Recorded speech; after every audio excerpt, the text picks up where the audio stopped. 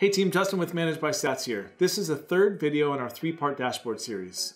So I'll be covering the last three dashlets, but the first one is restock alerts, and it's a little bit more hefty size compared to the other two, so we're gonna spend a little bit more time on that. Let's dive right in. So we've got a pre-created dashlet here. Your product image will be here, the name of the product, the SKU, your total supply quantity, which is inventory at Amazon, plus your incoming inventory. Total supply cost, which is your total supply quantity times the price per unit that you entered into ManageByStats. Units sold last 30 days, somewhat self-explanatory. Stock cover trailing 30 days, not self-explanatory, but it is simple. It's just how long your inventory will last based on your last 30 days of sales.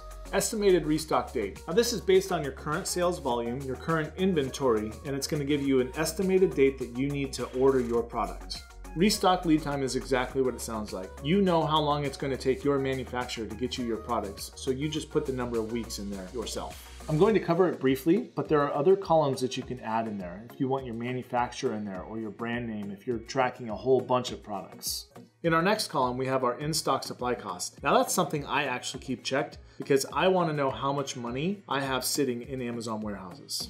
From there, you've got your average sales yesterday, seven days, 30 days, 90 days, 180, and 365.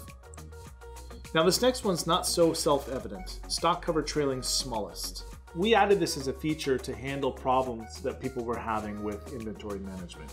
If you're not tracking your peaks, you can run out of inventory before you're able to get your next order of inventory in. What this tool does is it analyzes your last year of sales to find your peak average. The averages that it uses is your last day, 7 day, 30 day, 90 day, 180 day, and 365 day. You now have your highest average and you already know your current inventory. It's going to give you a restock date based on that. I hope that explanation made sense to you. In a nutshell, it gives you a worst case scenario for when you need to order inventory. Let's cover this last column. Basically, you have your different intervals on stock cover trailing, your estimated restock date, Stock update date is just the last time we refreshed your inventory. I'll show you how you can manually do it right here. Let me just cancel out of this and just click that button right there and it'll refresh your inventory. And now for our last two, much simpler. And they are SellerMail graph and SellerMail stats. SellerMail graph is very simple in that it just shows you how many were sent out and how many were opened. And a SellerMail stats just gives you the numbers rather than the graphs. As for the settings in these, you can choose to add any or all of your email rules. With that, our dashboard saga comes to an end. I hope you found it very informative. Now, don't forget, if you have a burning question in your heart of hearts, you can always reach our support team by going up to the question mark and clicking email support. All right, see you in the next video. Take care.